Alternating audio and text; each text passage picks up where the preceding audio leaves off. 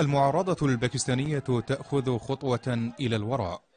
انقضى الحادي وثلاثون من ديسمبر كانون الأول من دون استقالات نواب تحالف أحزاب المعارضة.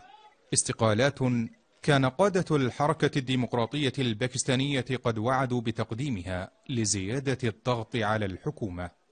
وعدل تحالف المعارضة المكون من أحد عشر حزبا معارضا عن خطوته بعدما تأكد أن الاستقالات ضغط سياسي وليس دستوريا على الحكومة. استقالاتهم لا تمكنهم من حل المجلس الوطني. ورئيس الوزراء كان محقا عندما قال إنه سيجري انتخابات خاصة بالمقاعد الشاغرة. وفي هذه الحال سيخسر نواب المعارضة مقاعدهم. متفقون على هدف إسقاط الحكومة لكنهم مختلفون على الوسائل. هكذا يصف كثيرون واقع التحالف المعارض هنا.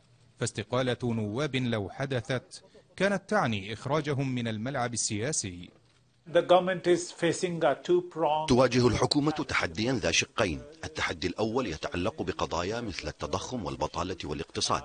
أما التحدي الثاني فهو الافتقار إلى الاستراتيجية السياسية. وإن لم تفاوض المعارضة فستلجأ إلى احتجاجات الشارع. الحديث عن استقالات نواب المعارضة لم يشمل نواب حزب الشعب فيتمسك الحزب بخوض انتخابات مجلس الشيوخ المرتقبة. ويدرك قادة حزب الشعب أن خسارة أحزاب المعارضة في هذه الانتخابات ستمكن الحكومة من إجراء أي تعديل دستوري تراه مناسبا.